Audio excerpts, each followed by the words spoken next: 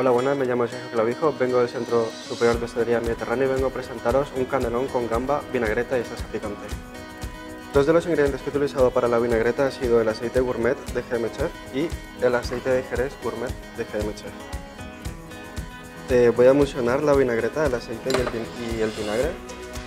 Cogemos la lámina del mango y enrollamos la gamba. Le ponemos un poquito de salsa picante alrededor, unas gotitas de vinagreta al lado y terminamos